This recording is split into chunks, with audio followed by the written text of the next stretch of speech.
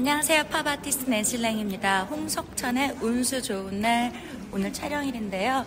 이렇게 스튜디오에 제 터부 요기니 시리즈 작품들, 캔버스의 유화 작품들을 이렇게 하나하나 디스플레이 해놓고 오늘 촬영에 들어간다고 합니다. 옆에 제- 그 스칼렛 시리즈고요. 네, 캔버스의 유화 작품 또 이어서 제 스칼렛 시리즈 작품이고요.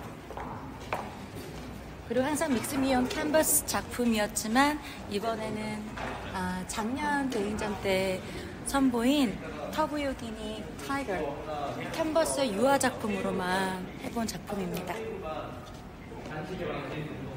그리고 터브유기니 라이언 역시 작년 설해마을 AB 갤러리에서 보인 작품입니다. 100호 사이즈고요.